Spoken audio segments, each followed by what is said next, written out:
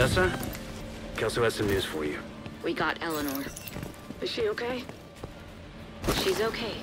I'm bringing her home. Oh, God.